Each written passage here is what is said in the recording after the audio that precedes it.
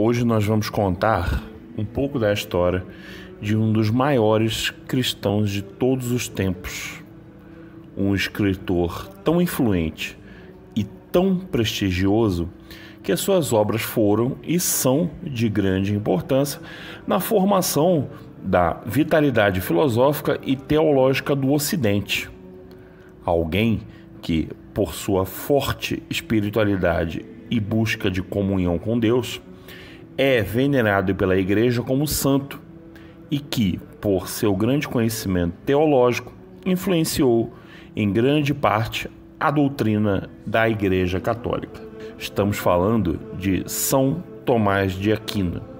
São Tomás de Aquino, nascido Tomás de Aquino, 1225 a 1274, foi um frei católico, filósofo e teólogo da Idade Média da Ordem Dominicana.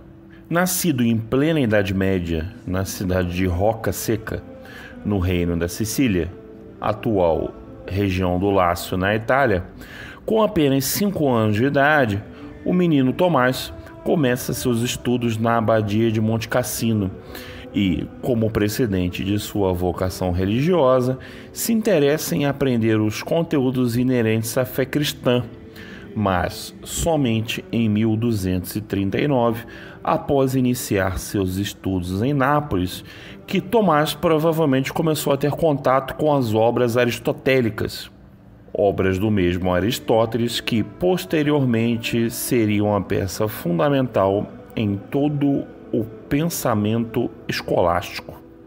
O pensamento escolástico de São Tomás de Aquino visa agregar a fé cristã com o pensamento racional advindo da filosofia de Aristóteles.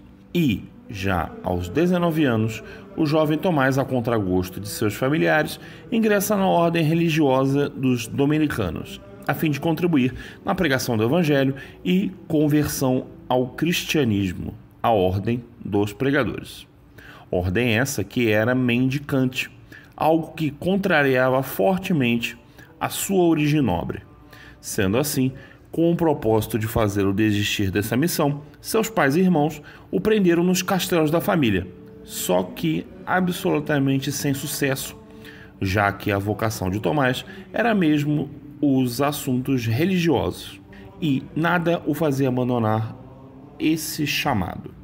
Voltando um pouquinho em sua infância, dos 5 aos 10 anos, Tomás de Aquino fez seu curso primário com os monges da vizinha cidade de Monte Cassino, e nessa época já dava mostras de uma inteligência fora do comum.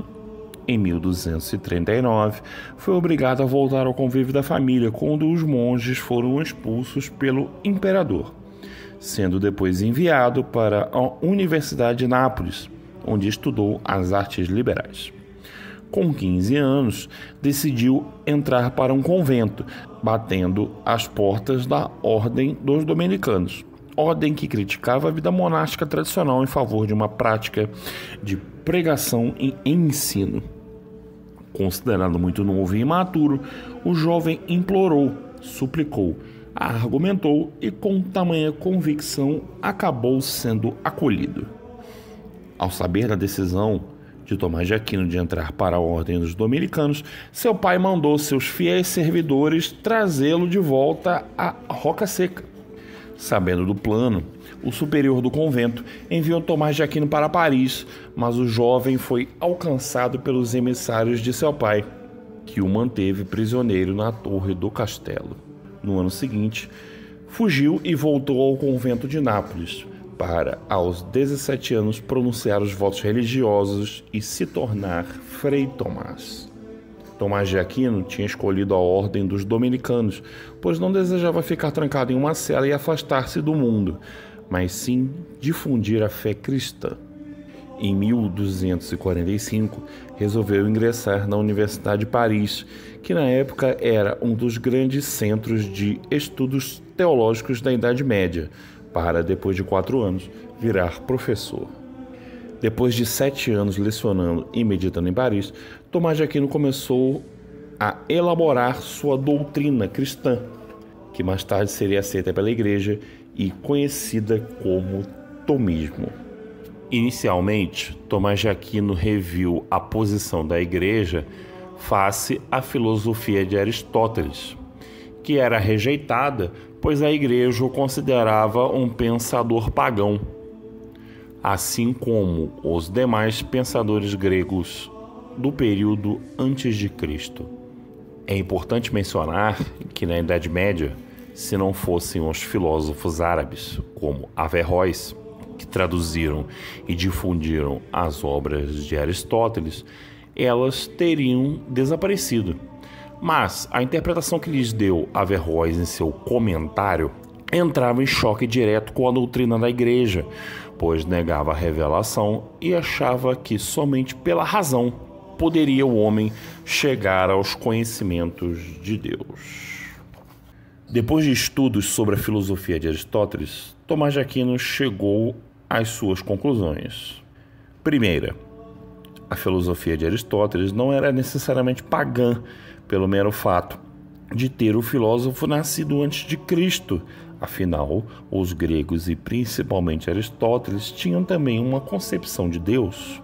Segunda, a razão dada ao homem por Deus não se choca com a fé e, se bem utilizada, só pode conduzir à verdade.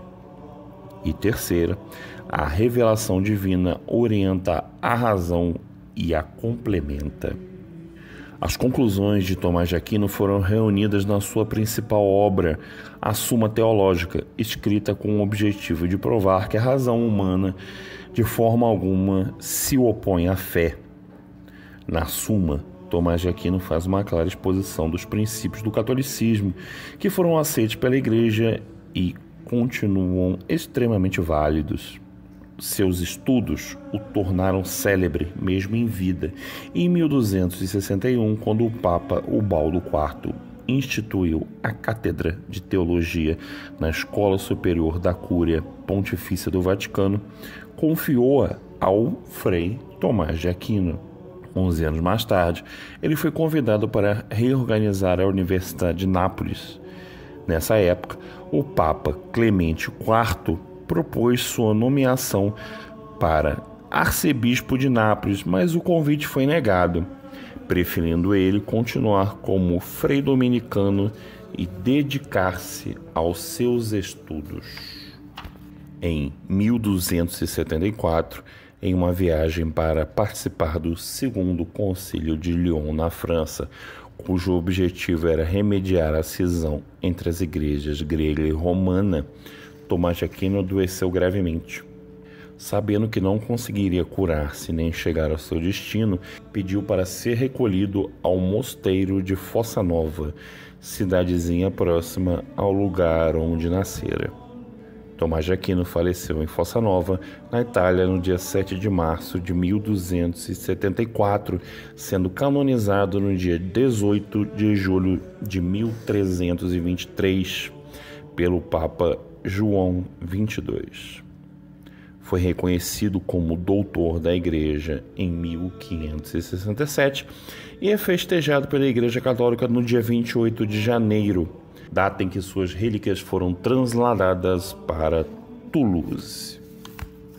Tentar dimensionar o seu trabalho com estas poucas palavras seria de uma pretensão praticamente herética, mas sua principal obra filosófica, e não sua, mas de toda a tradição escolástica, tratava de assuntos referentes à natureza de Deus, da moralidade da natureza do ser humano e foi criada com o intuito de se provar que a razão humana em nenhum momento se opunha à fé, além de demonstrar, via argumentos lógicos, a existência de Deus, o que ficou conhecido como as cinco vias de São Tomás de Aquino.